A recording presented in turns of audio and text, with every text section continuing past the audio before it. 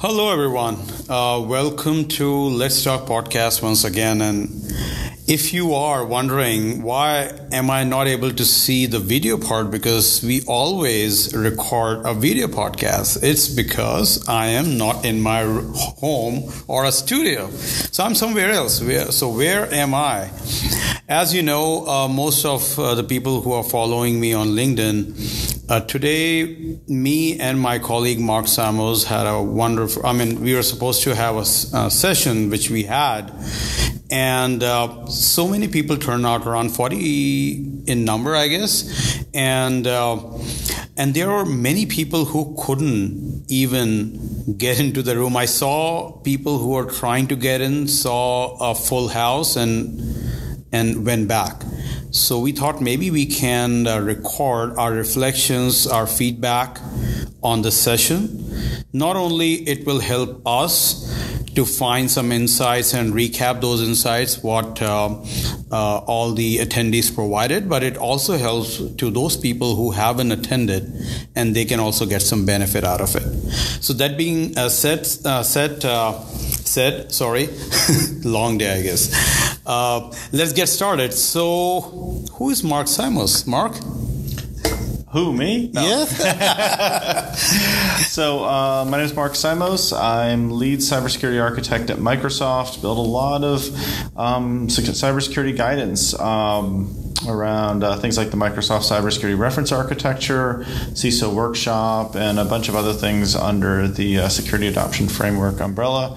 And, you know, uh, wrote the first book of the series of the Zero Trust Playbook series. Um, uh, contribute to and uh, author some of the open group standards on zero trust. So I tend to stay pretty busy. That's great, and and. Uh, thank you for uh, co-presenting and, and give me some insights about uh, how exactly these sessions are uh, being conducted from your perspective as well. So let, us get started. So initially we had a couple of questions, which was pretty. Uh, we were surprised to find, and specifically around multi-factor authentication. Would you provide some reflection on uh, what was one of the positive uh, surprise for you, or anything when we get started? Yeah, so um, we, we kind of set this up and we had a really good two way conversation. And so we started out, you know, by um, setting the stage a bit and then asking folks, you know, so like where are you on these sort of, you know, main, if you're not doing these, please do these type of uh, security controls. And it was kind of funny, like we started with, uh, with the things that we saw the most popularity for and then we saw it kind of dwindle off, right? Yeah. And the first one we were very pleasantly surprised with uh, MFA not just for admins, but also for users. We had almost all of the, the 30, 40 some folks in the room raise their hands for that. Um, so most of them actually do have MFA for users, which is fantastic. Such good news. Um, you know, as we got into, okay, is you, do you have a separate admin account versus a uh, user account, you know, for doing email and whatnot, you know, kind of dwindled down to a little bit around half or so, if I recall correctly. Mm-hmm. Um, and then, uh, of course, when we got to how, how are you doing for separating the workstations and the PAWS or privilege access workstations, you know, it's getting uh, down to only a couple of folks that were, uh, that had worked with that or tried that. And so um, it was very interesting, but it helped mm-hmm. us kind of zero in on, you know, where are the uh, the challenges we see in the market. Now we know that this is a security session at an M365 conference, so you know there's a self selection bias in there for the folks that um, you know that, that went and sought out our yes. section to try and get better at security. They're probably very much more likely to have done a lot of the security controls like MFA, um, but it was still very very heartening to see that kind of strong response there on that super important control. Definitely. Yeah. I mean, I was also pleasantly surprised uh, back in the day when I used to be in front of uh, the customers or take those sessions and ask about uh, MFA. Only handful of people would be like, yeah, we are doing it. But it was like required across the board, which is kind of a win of all the security advocates out here because they always mention that this is one of the uh, first I would say one of the first way to secure, and one of the I would say rel- relatively easier way to secure uh, your users, your credentials, and your organization in that perspective. Uh, so that being said. Uh, only half of uh, these people mentioned about the account separation part of it. So, would you like to uh, dig deeper about what ac- account separation we discussed and and and what was the feedback you sensed? Yeah, absolutely. So the the thing that the thing that we found that's really important is you know ultimately the the difference between an attack where the attacker gets an admin privilege versus an attack where the adversary does not when they're stuck with just user privileges uh, the effects of it the impact the pain level the recovery work um, the difficulty of investigation all of those things are night and day different. Mm. um, if the adversary is only kept to user accounts and they're contained at that level and you're able to clean them up it's a much easier cleanup um, and it's much harder for the adversary to get to their goals. Um, there are plenty of things that they can do as user forwarding emails gra- gathering intelligence from those mailboxes etc um, but uh, ultimately the, the amount of work and uh, excuse me the amount of damage that they can do as an adversary without admin admins is much, much less than if they get admin privileges and then they can operate across almost any user, any device, any server, etc. So it's, it's really, really important to keep those adversaries out of the admin credentials. And that, that takes two different forms. Um, one is making sure that your user and uh, admin um, accounts are separate and they're distinct, and you're only doing email and browsing, etc., on your user account so that your admin credentials aren't exposed in that way.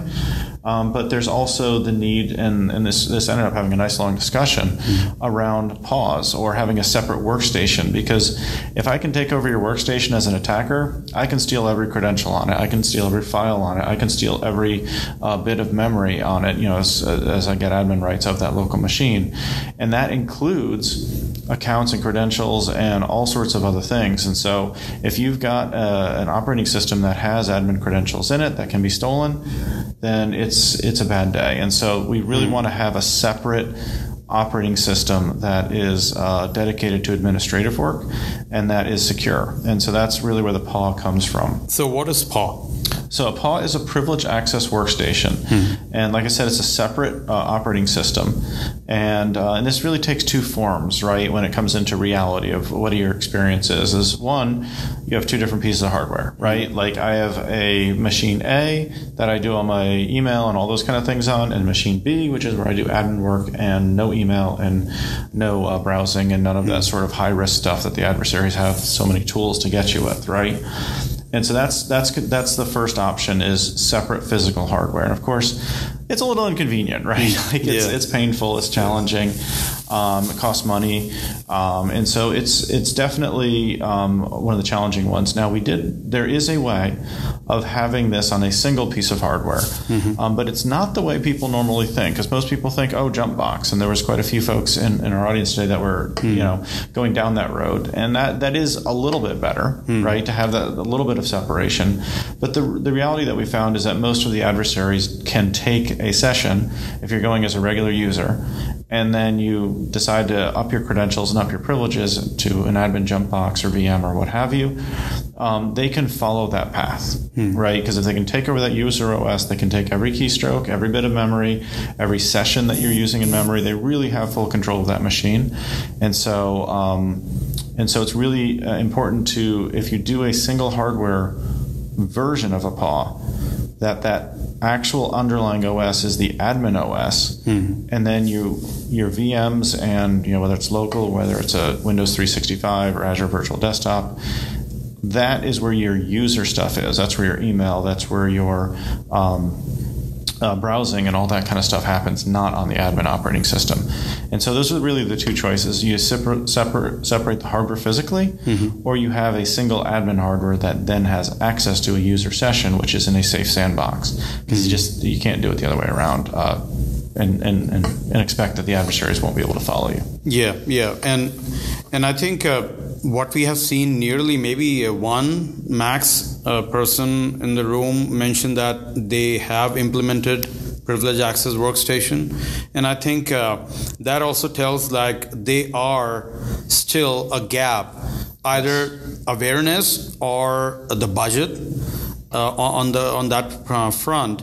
So, what do you think? I so there's a two part of this question: why there is an uh, there's a hesitation, or do you think it's a lack of awareness of PAW? That is the first, and the second thing is how people can get the information from where if you know the links to understand like what paw is about Yeah, I think I think it's a mix. Um, Because a lot of folks, you know, just accept the common, you know, sort of wisdom of the past, which is no longer valid. That hey, a jump box is is the next step up, and it is the next step up. It's just not as high of a step as you thought it was. And so there's definitely sort of an awareness challenge, but then there's also, okay, you know, what do I do challenge, right? Because in all major changes, you need a why, what, and how. Why would I even bother doing something different? What do you want me to do differently? And then how would I do it? And so I think the challenges are kind of spread across all those. And so we did talk about and showed some of this, the, the securing privilege access guidance and the POL guidance that we provide and explain that. And that was definitely news to a number of uh, folks. Some of them were aware of it, but I think a lot of them were not. Yes okay. And what about the uh, paw where do they get more information about privilege access workstation? Uh, it's a simple AKMS URL, so it's aka.ms slash PAW or PAW, um, which is part of our overall securing privilege access guidance, which is also AKMS slash SPA or SPA. So not quite a day at the spa, but you know, same word.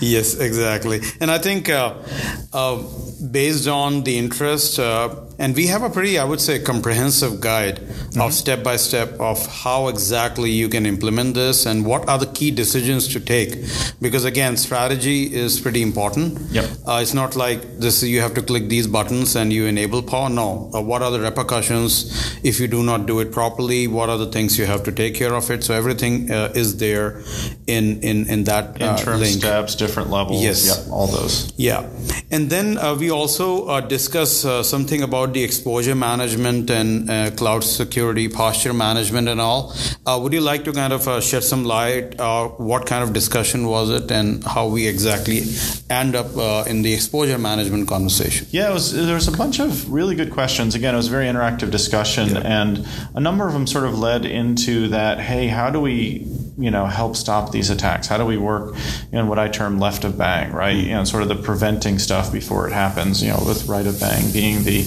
manage the things that do happen, the sort of SOC space or SecOps space that with the, the bad news you'd have to manage. Um, and so there's quite a few questions around that. And so we got a chance to, to talk about the exposure management capability that Microsoft announced, um, I believe, in March of this year. Uh, which just covered the um, uh, essentially what this is is in many ways it's sort of like what what XDR is doing for right of bang right? Where it brings together a whole lot of different um, prevention techniques and visibility and reporting and, and whatnot and and helps you get a view into what is my exposure what is the risk that I face and then you know I can focus on some initiatives for this particular attacker group or this particular uh, security standard or zero trust is one of the initiatives. Like how do I you know then score myself and rank myself on those particular things? And you know and I can have my teams focus on hey let's bring our score up in this area and let's focus on our score here. And um, and of course it's going to benefit usually multiple different areas because if you're working on something for an attack group it's usually going to impl- increase your compliance score and vice versa um, but it really helps you kind of uh, focus your efforts and get that view across identity and cloud and all these other endpoints and different resources and, and pull it together and really have that kind of end-to-end comprehensive view on preventing attacks. Oh yeah, and I think that's uh, such a big relief because uh, that that is something which has been asked by the customers multiple times uh, in previous years as well. How do we have a comprehensive dashboard or kind of looking into because there are so many uh, back in the day, if you recall, we have uh, each products in different silos, and then we have to take some findings of one product, put it in somewhere else, and uh, and in security, time is, is is the essence. So we really have to work through to make sure that we have a right storytelling and follow the the breadcrumbs. So how exactly this exposure management? I think is different from the threat and vulnerability management what we had, or uh, in now Defender for Cloud we have? Is it a merger of both the these things, or uh, if you kind of give give some clarity on that? Yeah, it's think of it as sort of like the single pane of glass for that purpose would be Okay. sort of the way to put it. Because single pane of glass for everything is just never going to work because it's Yes. a it's a it's a Swiss Army knife with like 300 attachments, right? It's- It Yes. doesn't work. Yeah. Um, but having a, a single pane of glass for a particular purpose that brings together multiple data streams, data feeds, etc that's really what exposure management does. Just like the Defender console on the right of Bang side brings together alerts and whatnot from Sentinel, as well as from all the different Defender for Identity, Endpoint, Office, et cetera, et cetera. This is essentially doing the same with the preventive data um, on the left of bang side. So you have it for your cloud resources in Azure and on-prem and AWS and GCP, as well as for your identities, for your endpoints, um, uh, for, for um, all of your Office configurations and whatnot. And so it really brings all that together into one place with that theme of, okay, my preventive things, the, the configurations, the lack of a patch, all those types of things, really kind of coming together and saying, I need to, to, to, to drive this effect across all my technology. And how do I do that? And how am I doing on it so that I can follow up with the right teams? Perfect. That's great.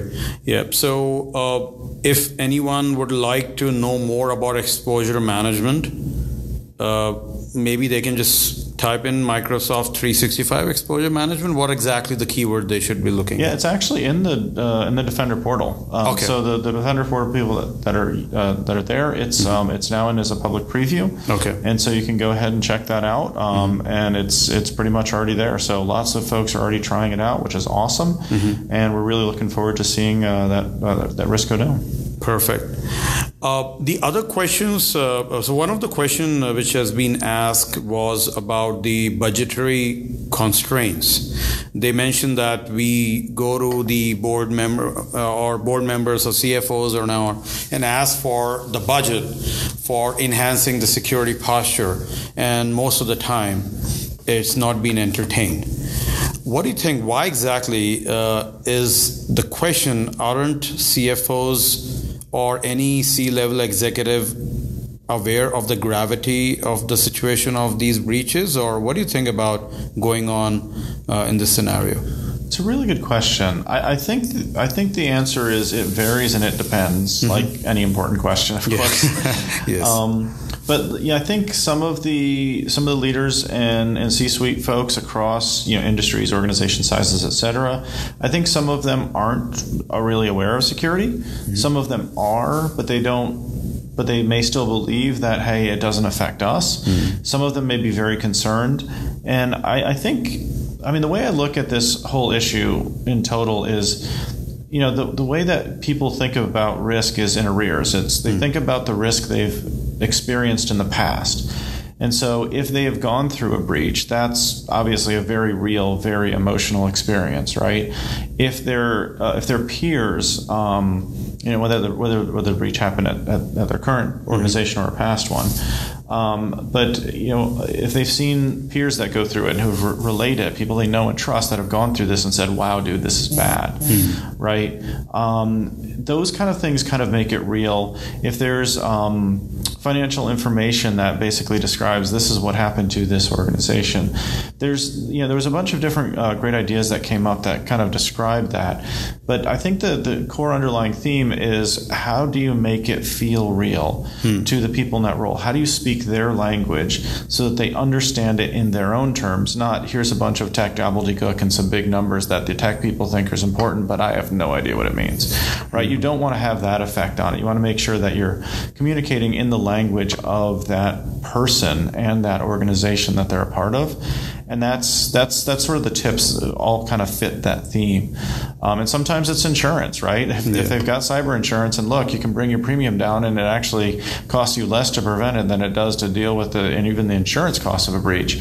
Yeah, that's going to get people's attention. Now, some organizations don't have insurance and even haven't even put that on their budgets. That won't work, right? But it's about making it real in the terms that matter to that organization and that person specifically. You know, that that decider or those deciders in this ca- in, in many cases. Yeah, I, I think that's well said, and that is the way I think every security leader has to follow through, understand uh, that what exactly the C level I mean, you have to talk in their language, and that's where some of the things called empathy also comes into the picture. Oh, yeah. Right? If you are an expert, you cannot think that the whole world around you are expert and they understand why exactly certain things are necessary. And one of the things I would say I also learn is that you have to understand what are the KPIs of your business and start working on those as well.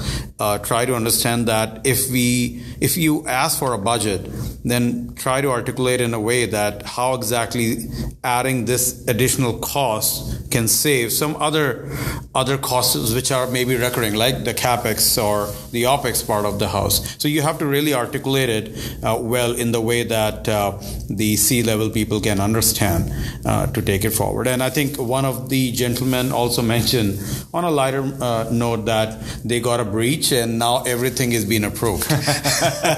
so that is the unfortunate part of that. Yeah, sometimes breach happens and and a lot of things uh, uh, I would say expedited in a way that uh, the approvals comes in, but you don't have to wait for that, and that's where the security leaders comes. Uh, uh, the articulation power, yes. Yeah, and then like one other last thought on that one is just you know sometimes security budget isn't that hard to get. Yeah. And so like once you get it though, there's sort of a you know it's it's the old with great power comes great responsibility kind of thing that Mm-hmm. you know you got to make sure that you're then spending that security budget on things that have an effect, and then you're continuing to communicate the status and the effects and the returns on that investment. You know, and it's not going to be returns in money; it's going to be returns in you know security assurances and things got better because, and these metrics improved because. But you got to express those returns on those investments and continue to give status on, hey, this money is doing good work. And here's, and again, it's got to be in the language of the people you're reporting to. Um, So it's super critical to, to kind of keep that in mind to, help to to make security real and kind of build that bridge between security and the business and IT. Yes, exactly. So let's get on to the, I think, one of the last questions uh, which has been asked about the AI governance. And this is, uh, uh, this question also uh, won uh, your signed book as well. so the people who are listening, uh, as Mark mentioned in the in the beginning, that he has recently his uh, recent book is out, and that is Zero Zero Trust uh, Playbook. Yep. Yes, uh, Zero Trust Playbook, and it's um, available on Amazon. It is indeed. Okay, perfect. So, uh, so what was that question? Is about the AI governance, and this question is being circulating a lot on on C level as well. I talked to a lot of leaders that they are talking about before adopting AI. Uh, how the data security governance hygiene comes into the picture, uh, data spillover, leak, and a lot of things around that. And obviously, we do not have the answers right now, but I would like to know that how exactly we navigated that question uh, to make sure that the discussion is open. Yeah, absolutely. There's there's a AI has introduced a whole new window on everything tech and everything security and often everything business and job related in general. And so it's it's a sort of unexpected dimension of the digital transformation that hit all at once uh, uh, everywhere. And so there's a lot of questions that are unanswered at this point in time, but there are quite a few things that we do know we have to do, and there are quite a few tools to do those things. And so, you know, the, the big thing that when I think about that space is just, you know, recognizing first and foremost that AI is causing data to be a big deal, right? Because data was always sort of the last forgotten, you know, kind of part of security. But the reality is, is AI has brought it to the spotlight in the forefront very quickly, because AI uses data, AI generates value and you know money for the business, oftentimes using data. Um, it could leak or disclose data. Um, it, it accesses data in real time. It's trained on data. I mean, there's so many different aspects of of uh, of AI that are driven by data. And so it's really important to recognize one, the importance, and, and then two, the potential risks of doing that. There's benefits and there's upsides, but there's also risks. And um, so that's that's sort of the big thing. And then there's a, there's a lot of tools um, that are available in the marketplace. Uh, most of them from Microsoft are under the Purview uh, brand name that can help you with discovering your data, organizing it, tagging it, classifying it, so that you know those AI tools then have the access controls to sort of respect it. Um, and you know, uh, for those for those of you that remember uh, uh, Delve Office 365 Delve, Yes. I think it was called. There's sort of this interesting dynamic that when that was turned on by default, you know, all of a sudden everybody was like, "Hey, everybody can see all of these files." Who Well, access what files and all? Yeah, but they had access to them before. Yes. It's just that they couldn't easily discover them, and it wasn't being put in front of their face, right? And so it was, a, it was a discovery problem that Delve exposed, uh, but uh, it was I'm sorry, it was an underlying access control problem, and it was just the discovery mechanism of Delve that showed you that. And so there's like these, you know, organizations really kind of chose one of two things that experienced this. One is they turned off Delve and pretended they didn't have an access problem, in which Yes. case they're behind the curve today Yeah. um, or they went ahead and started working on that very complex access control problem. And so that's that's really sort of, you know, we're, we're, we're facing that with AI because we can't just turn off an Office feature today, right? And so the reality is, is AI is this powerful business value generator, and so you can't turn it off, and so you have to address those underlying access control problems. So that that tends to be one of the sort of job ones um, within the uh, within the space of uh, of adopting AI because you want to make sure that you know if if you're asking the AI to respect your access controls and you know pass it through, you actually have to have the access controls in the first place for it to do so. Otherwise, it's just going to allow anyone to see any of that data, and that's definitely not a good thing because there's a lot of things that you know payroll and acquisition information and whatnot that should not be widely available within an organization. In fact, there's some regulations against it. Um, but yeah, that's that's kind of the, the key thing there is just recognizing that that is a big space and it's something that we're going to be continuously learning on and continuously getting better at. That's great. I think. Uh, is there any other questions we missed out? I think that's pretty much I it, right? those are the big ones that I remember. Yeah. Yes. Okay. That's great. Uh, so, I think that uh, that brings uh, the end of our conversation. I hope you like our uh, a kind of a brief of what conversations we had. If you have any follow up questions, you can definitely uh, reach out to Mark Simos. He's he's uh, on LinkedIn and he he kind of posts those important slides which can help you to articulate your vision clearly. So please follow him as well uh, on LinkedIn and uh, and I'm on LinkedIn as well. So you can uh, follow and uh, have some subsequent conversations based on whatever uh, what you have uh, listened. And that being said, thank you so much, Mark, for providing some not only uh, co-presenting but providing some insights of uh, our uh, reflection on this uh, uh, session. Awesome. Thank you. Thank you. Have a great one. You too.